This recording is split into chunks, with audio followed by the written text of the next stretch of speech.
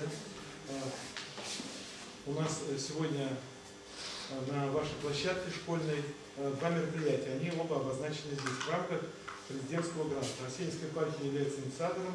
Мы, э, как церковь всегда являлась хранителем русской культуры, меняются государственные режимы, политические там, и так далее.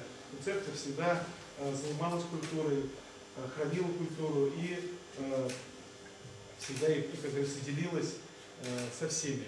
И вот мы, как говорится, э, в рамках э, культурного проекта выиграли президентский грант, который называется «Ярмарка русской культуры». Туда входят и песенные конкурсы с мастер-классами, и выставка икон, тоже с мастер-классами, выставка старинных костюмов, русских, русских как говорится, прикладных дел.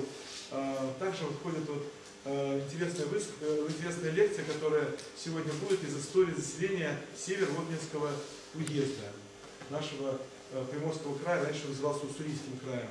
Э, немножко я о нашей Ларине расскажу, да, Лариса Васильевна? Да, Да. Лариса Васильевна, она историк нашей епархии, э, замечательный человек, э, эколог, э, биолог, э, очень много она о ней может рассказывать, но в данном случае она как историк и с, э, с культурным таким акцентом будет рассказывать о, о наших вот местах. Она ездит вместе с нами по различным э, районным центрам и рассказывает и вообще о заселении, заселении нашего края, и о маленьких, так скажем, о малой родине, в частности, вот о ваших местах. Я думаю, вам будет очень интересно. Вот недавно мы в Ольге были, все благодарили, были замечательные отзывы. Еще, кстати, чуть попозже будет «Лира добра».